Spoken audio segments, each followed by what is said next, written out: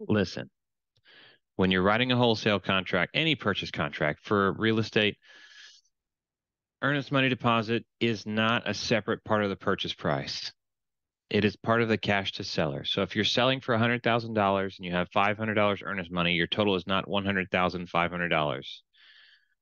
Your earnest money is 500 toward the purchase price of $100,000. I don't know who needs to hear this. Maybe you, maybe somebody you know, but quit doing that.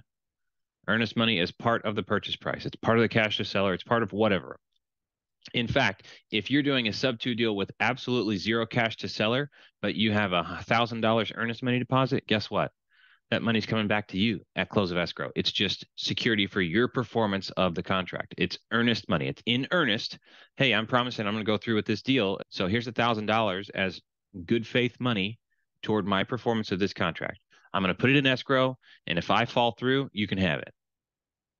That even if they're getting zero cash at close of escrow, you can do earnest money, and that does not change the purchase price. That money just goes right back to you or covers your part of your side of closing costs. That's it. Pass this along to somebody who needs to know.